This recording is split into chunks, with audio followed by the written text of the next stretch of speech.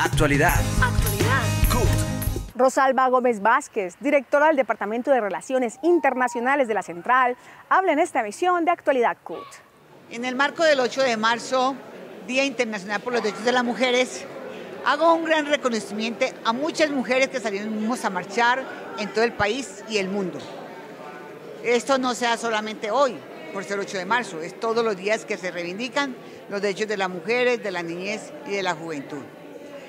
Condenamos, rechazamos enérgicamente lo ocurrido en Bogotá el mismo 8 de marzo, ya es hora de llegando ahí al tipo 6 de la tarde, tranquilamente, una gran movilización de mujeres, feministas, campesinas, indígenas, sindicalistas, jóvenes, niñas de brazos, personas de la tercera edad, y de una forma atrevida y descarada fueron echando gases lacrimógenos. No había razón ni motivo para hacerlo.